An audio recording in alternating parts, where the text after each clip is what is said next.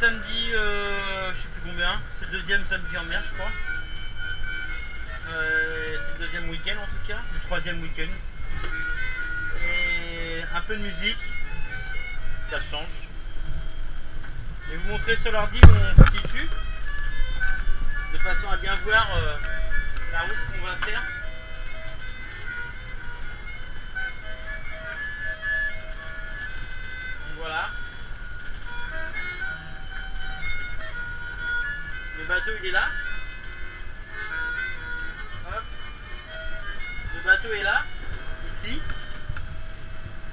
On est sous spi et on va aller là. Et le routage de l'ordinateur, Maxi, ainsi que Pierrot, préconise ces, ces petits triangles, ces points noirs et rouges. Voilà. Donc en fonction des oscillations de vent, bah, on les prend ou on les prend pas. Mais c'est préconisé.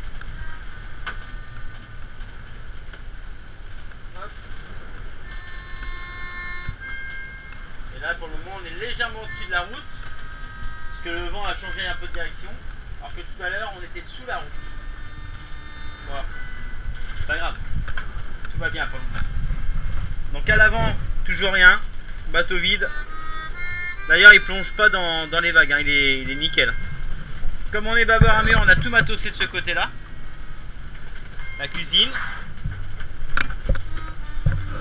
Et là, il y a tous les bidons de nourriture, il y a l'encre, la barre de secours, euh, tout le matériel est de ce côté. Je vais vous montrer hein, ensuite l'autre côté. Euh, il reste 2-3 bricoles. hein. La sécurité du bateau, je veux pas qu'on y touche, elle reste là. Et puis euh, la boîte à gâteau. Voilà. Sinon 2-3 bricoles. rien de particulier. Dehors, bah, beau temps belle-mère, hein, vous allez voir. Bonjour R2D2. Alors, comment ça se passe ton, petit périple dans l'Atlantique? Ça se passe bien?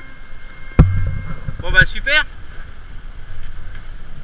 Donc voilà, nous y sommes. Beau temps, belle mer, chaud dans les bistrots, c'est ce qu'on dit ouais, j'en sais rien parce que moi à La Rochelle, les échos que j'ai, il fait pas beau, il pleut, il y a du vent. Et ici, regardez, c'est pas magique. Alors toutes les voiles sont matossées à l'arrière bâbord. On a mis les panneaux solaires aussi. Alors vous voyez le bateau il roule un petit peu quand même. Hein. Parce qu'on a tout dans l'arrière. Et euh, faut quand même le stabiliser. Et des fois le pilote il fait une petite embardée ou deux donc ça n'aide pas. Vous avez vu comme c'est joli? Les couleurs elles sont magnifiques. Hein. Ah c'est pas l'eau des, des perquis rochelés euh, tout au long de l'année. Hein. Donc grand voile haute. Pas de prise de riz à fond. Et puis bah on aperçoit sous la baume le, le grand spi que j'ai failli perdre 3-4 fois euh, et que j'ai toujours réussi à sauver. Je sais pas comment mais euh, on a réussi. Donc voilà. La contre-écoute qui traîne un peu dans l'eau.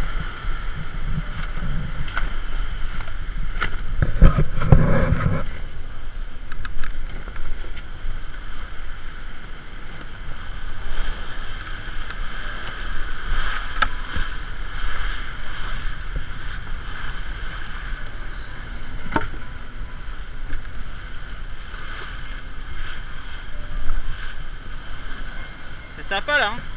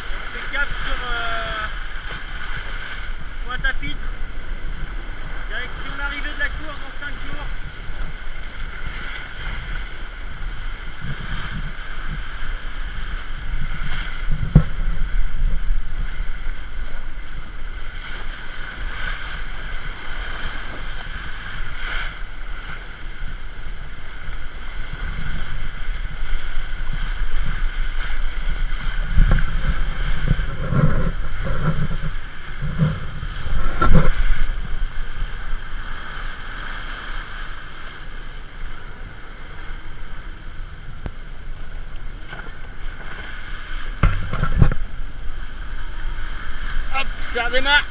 Un petit surf là. C'est parti.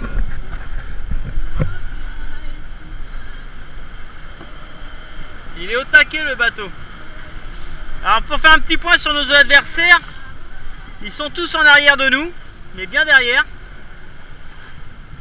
Euh, Sir Robin Johnson est à 70 000.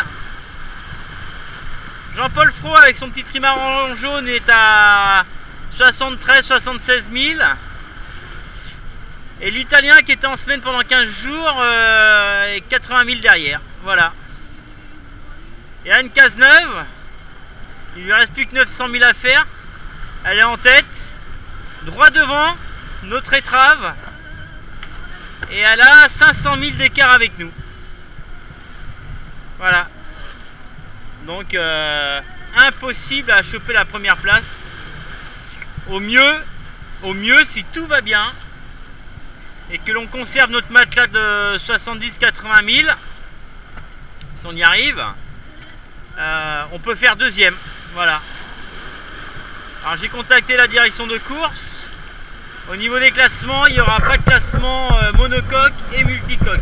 C'est tout le monde est ensemble et euh, il y a un seul et même classement pour tout le monde mélangé. Donc c'est bien.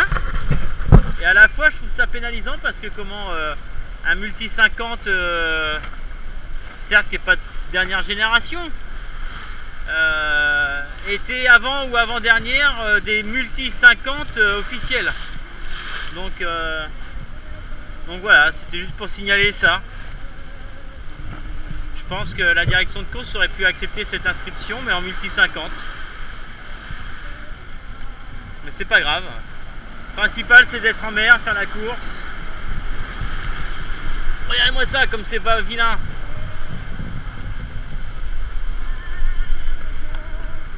Alors là on voit le lazy bag qui est endommagé, je sais pas comment ça s'est fait mais euh, c'est un peu étrange.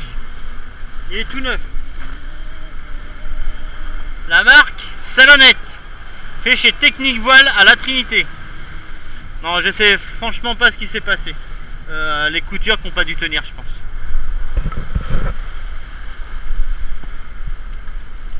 Bien évidemment, les deux panneaux amarrés et le fagot de voile du bateau.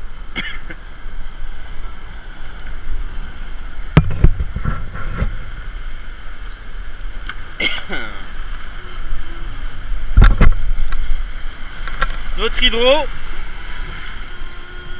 On a cassé l'hélice l'autre jour. Donc euh, hier, on a dû prendre un truc dans l'hélice et puis il a fallu changer euh, l'hélice. Donc là j'en ai plus de rechange.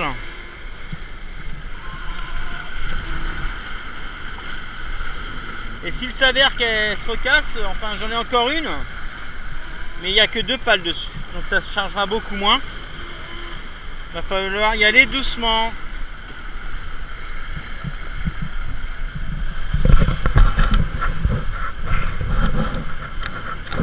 C'est sympa de là aussi. Hein.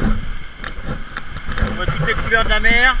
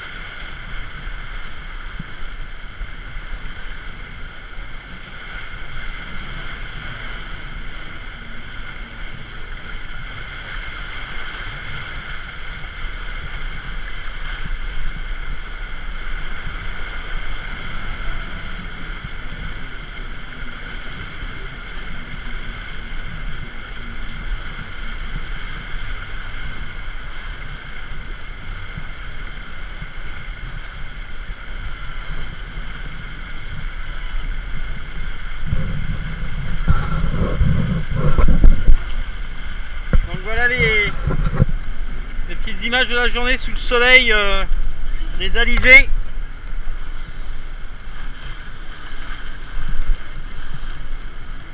Alors cette nuit on a on a croisé un classe 40.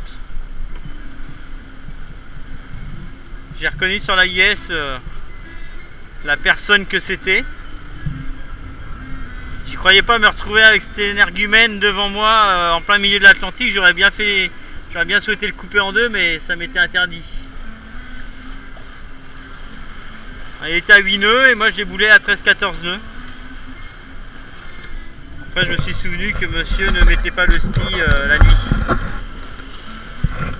Bon après ça se respecte. Hein. C'est la personne avec qui je suis parti sur la Jacques et que ça s'est mal terminé. En 2013. Et en fait, euh, il était quoi 3h du matin, je vois un petit feu rouge clignoter dans les vagues. Je croyais que c'était même un bateau en détresse. La façon dont ça faisait. En fait, euh, le bateau il a des feux mais dans le balcon. En tête de main, il n'y avait rien. Et puis, euh, bah, au final, avec la IS, j'ai vu que c'était agité. Et il est passé à 50 ou 100 mètres devant moi et moi j'ai boulé comme un barjo quoi. Sous à fond les ballons. C'est pas grave. Et un quart d'heure après, je reçois un mail d'Eric Troussel me disant T'as vu qui c'est que t'as failli couler? Jean-Claude Van Damme. Ouais, parce que c'est son surnom, Jean-Claude Van Damme, ce mec. Il est infernal. Et pas dans le bon sens. Enfin vieille histoire, c'est du passé. Mais ça m'a fait sourire de le recroiser en plein milieu de l'Atlantique et qu'un quart d'heure après, Eric et Coco m'envoient un mail pour me dire T'as vu qui c'est que t'as croisé? J'étais vert, j'étais explosé de rire dans le bateau. J'en pouvais plus. Ah, je leur ai répondu direct. Par mail aussi. Enfin.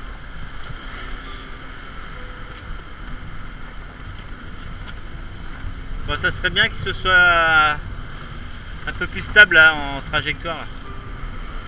Je suis réglé au max de tout et au niveau du pilote. Le problème c'est que les vagues elles arrivent de derrière, sur le côté. Et c'est pas facile pour le pilote. Moi j'ai barré tout à l'heure, c'était un vrai bazar. Un champ de mine, alors j'ai dit tiens le pilote reprend la barre. J'ai demandé à Poppy s'il voulait barrer, il m'a dit non, je vais pas barrer. Donc lui, il est retourné se coucher.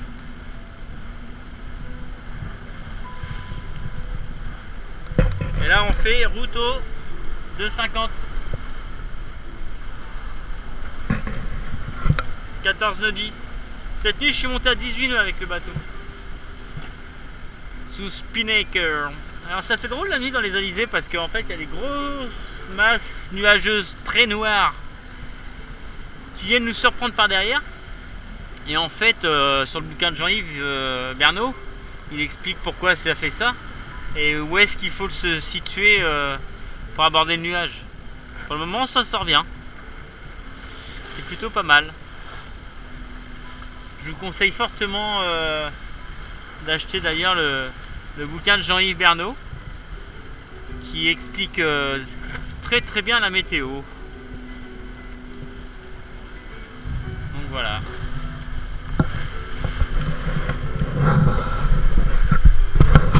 Bah écoutez, moi je vais vous laisser. Hein. Et puis, euh, je vous dis peut-être à tout à l'heure. Allez, ciao